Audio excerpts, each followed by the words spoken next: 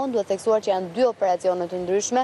Operacioni për të cilin do të dalë në konferencë prokuroria e posaçme aktualisht ka të bëjë me çështjen e call centrave që është zhvilluar një operacion midis Shqipërisë dhe autoriteteve italiane, ndërsa operacioni në të cilin janë arrestuar ish drejtori i drejtorisë operacionale në Policinë e Shtetit Olti Bistri, prokurori Kukësit Xhevahir Lita dhe gjithashtu biznesmeni Pëllumb Gjoka dhe një nga anëtarët e grupit Bajri i cili është arrestuar Edhe në vitin dy mijë e tetëmbëdhjetë në kuadër të operacionit Oazë Asmer Bilali është një çështje tjetër që sipas informacioneve që ne mundëm të sigurojmë nga ana e burimeve bëhet fjalë për pas zbërthimit të aplikacionit Sky nga ana autoriteteve franceze ku në dijeni prokurorisë posaçme janë vënë një sërë dokumentacionesh provash dhe faktesh që i lidhin ata drejtpërsëdrejti me disa vepra të ndryshme penale.